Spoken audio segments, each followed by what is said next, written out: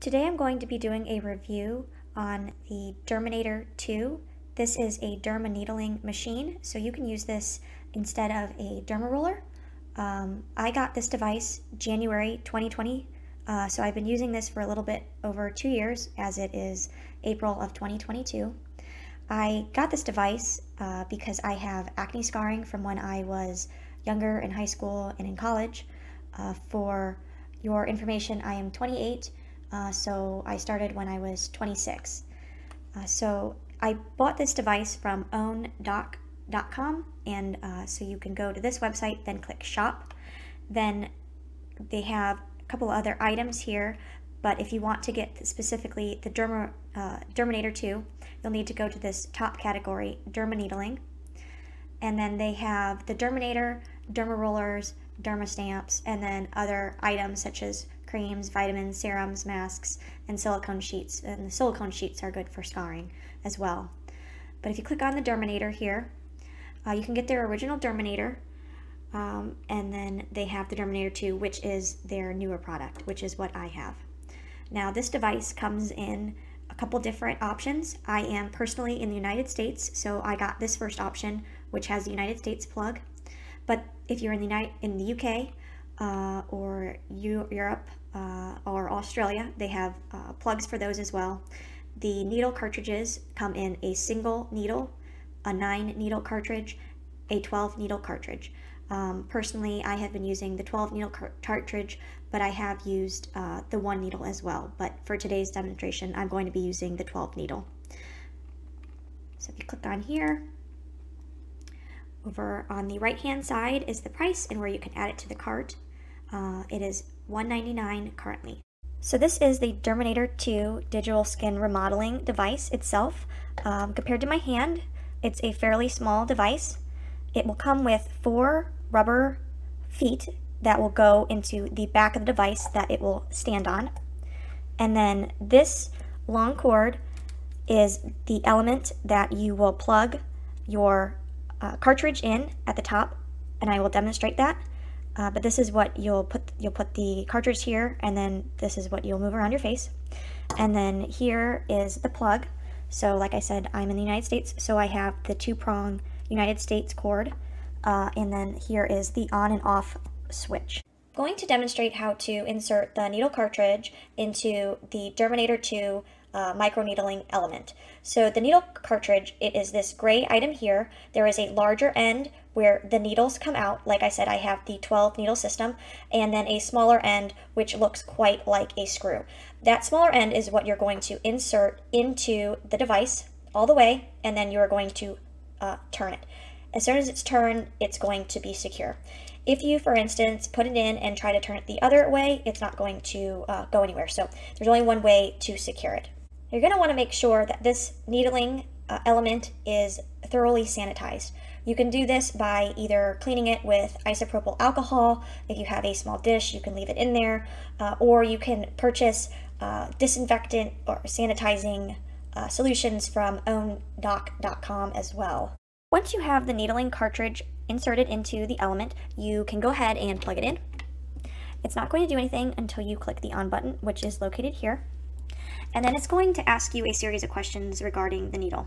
Like I said, I have the 12 needle, so I'm going to click no, and both of these selecting items just correspond with the left and the right. Um, this says depth and this says speed, correct? But um, when you're selecting these answers, you're just going to use whichever correlates. So single needle, I'm going to select no. 9 needle, I'm going to select no. 12 needle, I'm going to select yes. Now, it is very important that you answer correctly for the needle because that is going to change the settings for how uh, the needle pushes out and you want to make sure that you are, um, you know, putting it in accurately. This timer setting is nice if you know the area of skin that you're going to be microneedling. This device knows how long you should be microneedling a certain amount of area. So if you input that, uh, the device will turn off once you have satisfied that uh, amount of time that you should be in that area. So if you want to go ahead and input it, you can use either inches squared or centimeters squared. I'm in the United States, so I'm going to put inches squared. And then um, you can change the length of skin here, and then you click OK by choosing that blue area. And the width of skin, we'll just increase it there, and then click OK. And then if you want to turn the timer on, um, you can go ahead and click OK. So now it's going to know what area you are going to be microneedling. This device has three different speed settings, slow, medium, and fast. Uh, to demonstrate, I'm going to put a depth on, that way you can hear it. This is slow. And this is how fast the needles are coming out of the device. Medium.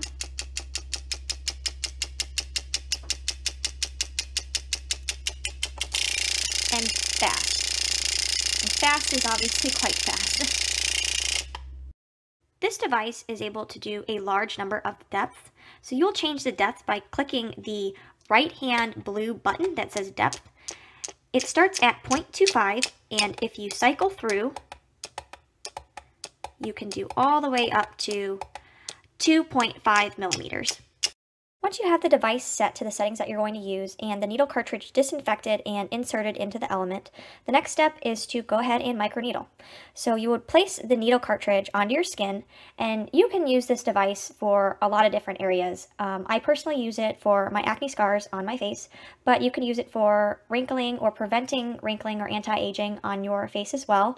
Uh, it induces collagen, which is a great benefit, or you could use it on um, uh, scars or um, stretch marks on your belly or other areas.